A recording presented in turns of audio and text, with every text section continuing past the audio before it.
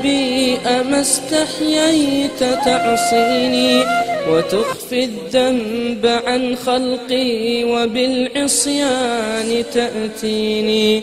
فكيف أجيب يا ويحي؟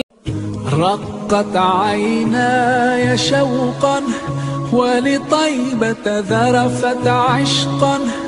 فأتيت إلى حبيبي فاهدأ يا قلب ورفقا صلي على محمد. السلام عليك يا يا رسول الله.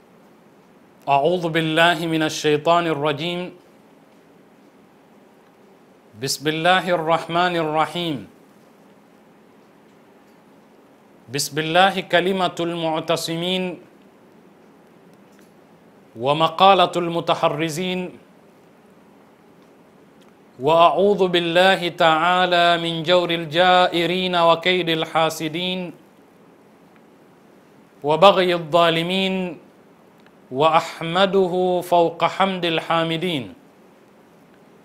ثم الصلاه والسلام على أشرف الأنبياء والمرسلين محمد وعلى آله الطيبين الطاهرين. اللهم صل على محمد وآل محمد. يقول الحق سبحانه وتعالى في محكم كتابه المجيد أعوذ بالله من الشيطان الرجيم. والذين يقولون ربنا هب لنا من أزواجنا وذرياتنا قرة أعين واجعلنا للمتقين إماما. صدق الله العلي العظيم. والسلام عليكم ورحمة الله وبركاته. Mwenyezi Mungu subhanahu wa taala. Vile vile na kumtakia rehma na amani bwana wetu mtukufu bwana mtume sallallahu alayhi wa alihi wasallam katika mazungumzo yetu ya leo tutazungumza kuhusu malezi ya watoto Kiislamu yanaanzia wapi? Na kwa hakika ni kwa sababu tunalenga kuzungumza kuhusu tabia, maadili na tabia njema katika Uislamu. Katika mazungumzo yetu ya mara ya mwisho tulikomea katika kuzungumza nukta ya mwisho inayohusu mawasiliano baina ya wazazi, namna yanavyoathiri aina ya mawasiliano ya watoto wao pindi watakapotoka katika familia. Sasa baada ya kuizungumza familia, na tulisema familia ni primary agent of socialization na tukaona namna ambavyo ina nafasi ya kwanza katika kumpandikizia mtoto tabia fulani fulani.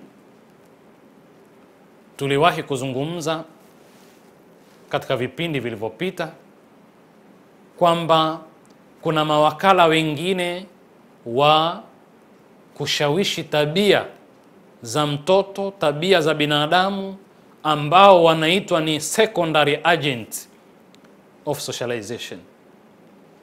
Kwa hivyo tabia kwanza tunajifunza kwa wazazi wetu unconsciously, lakini vile vile baada ya wazazi kuna maeneo mengine, kuna watu wengine wana mchango mkubwa sana vile vile katika kushawishi tabia za mtu.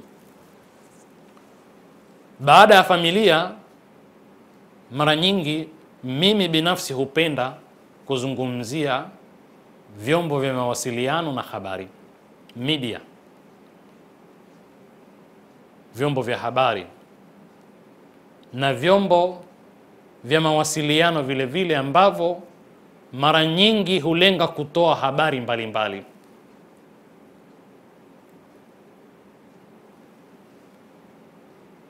Lakini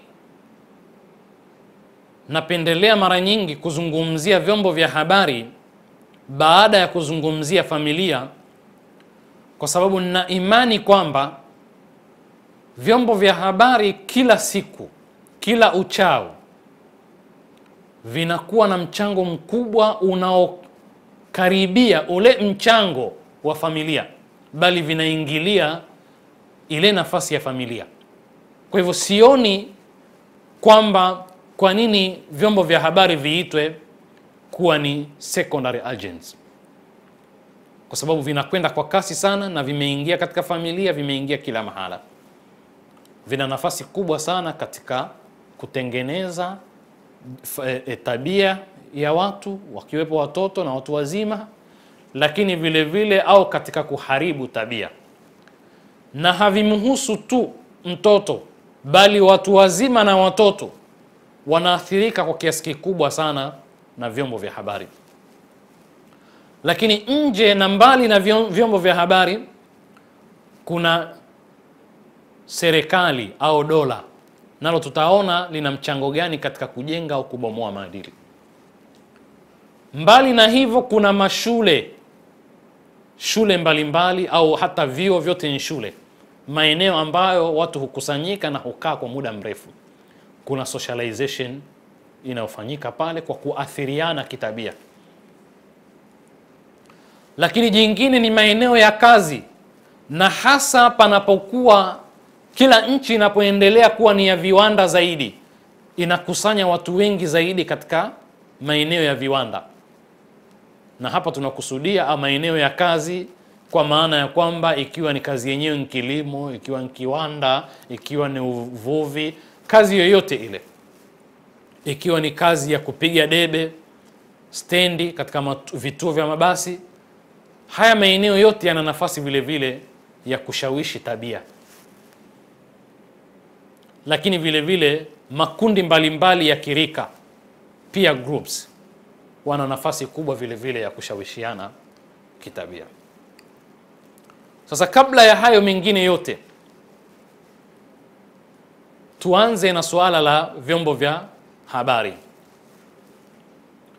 na ni vingi kwa hakika, hata inafikia mahala kuvihisabu na kujua idadi yake kutokana na aina yake mbalimbali mbali, aina zake mbalimbali mbali, imekuwa ntabu, na kila siku vinaibuka vingine vingi na navyo ndivyo vinavyo facilitate globalization, kuwaleta watu pamoja. Kwa hivyo vinampa nafasi yule mwenye kutaka, mwenye nguvu za kiuchumi, anayetaka ile culture yake, utamaduni wake udominate ulimwengu, vinampa nafasi zaidi vyombo vya habari.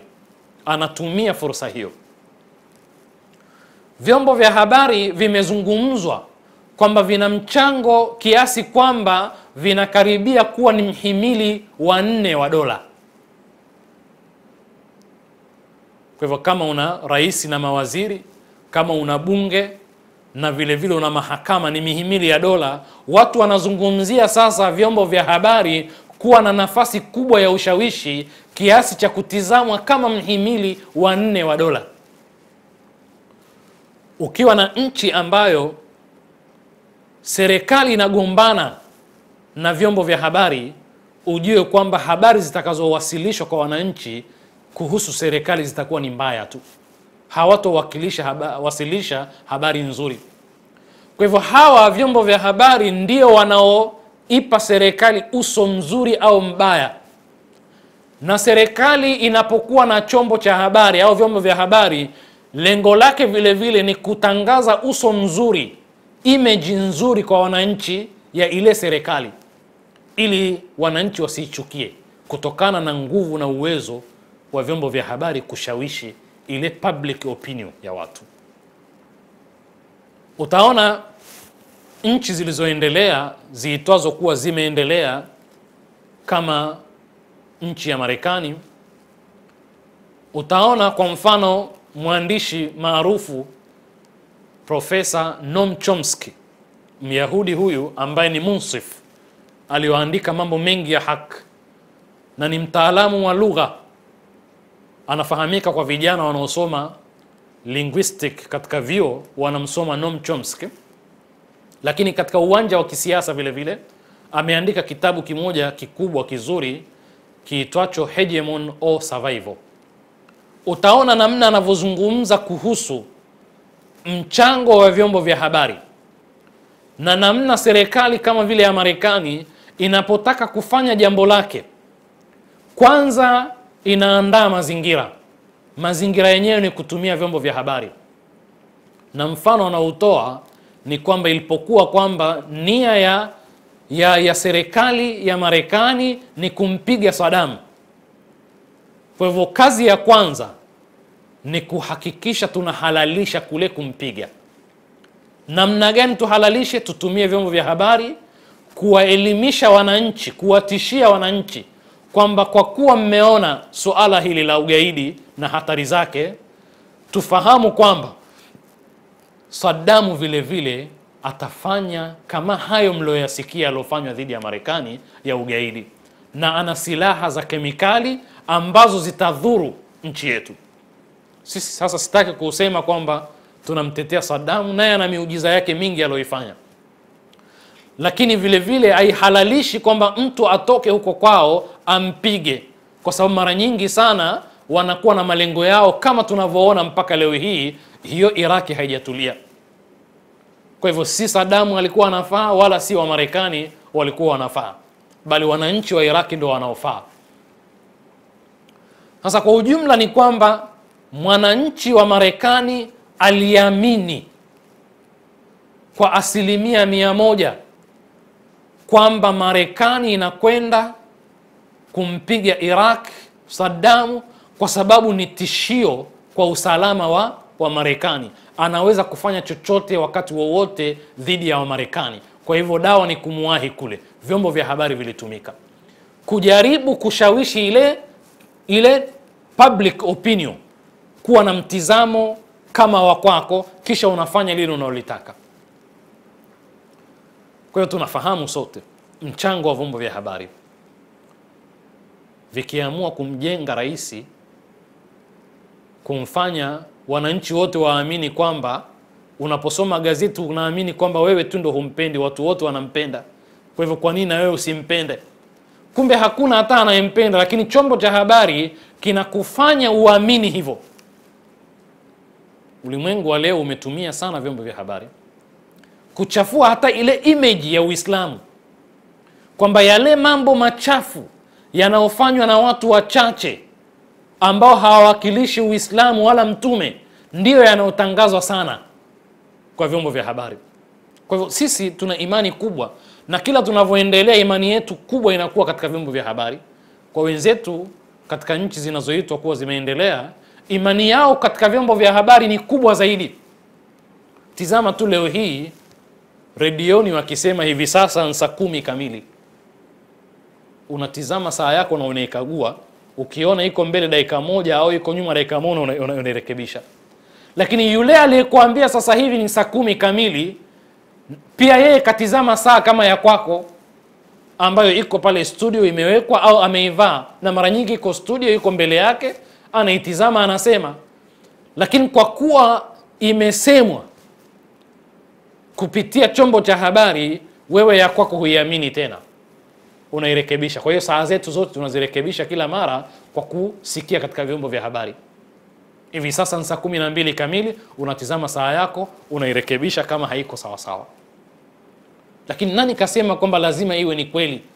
Pengine ile saa anayoitizama yeye katika studio yake iko mbele dakika moja au iko nyuma dakika moja, lakini wewe unaamini kwamba ya kwako ndio ambayo si sawasawa.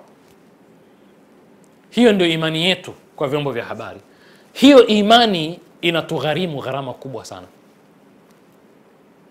kwa sababu kama ikiwa jambo ni la kweli, ahlan wa sahla, faida yake nkubwa kubwa, lina athari kubwa. Ama ikiwa faida yake ni katika mambo ambayo ni kinyume na maadili, athari yake itakuwa kubwa sana katika kubomoa mfumo wa tabia njema katika jamii za kibinadamu na hilo ndio tatizo tuliokuwa nalo.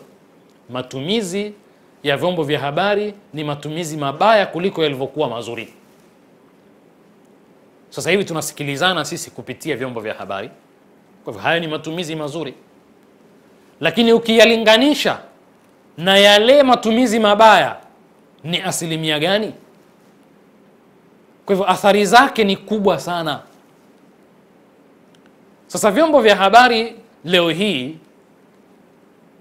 viko kila mahala, tunatembea na simu, ni redio hapo hapo, kuna intaneti hapo hapo kwenye simu yako, kuna mawasiliano ya kila namna, lakini kuna taarifa unazipata za kila namna.